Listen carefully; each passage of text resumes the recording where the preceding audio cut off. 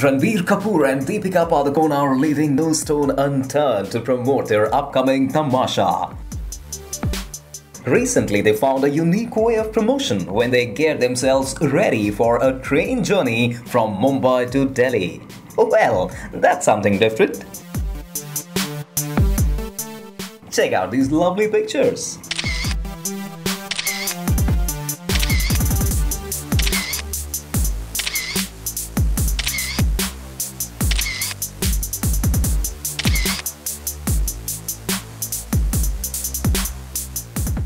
Reportedly, it was Deepika's wish to travel through train instead of flying, and it apparently proved to be extremely productive.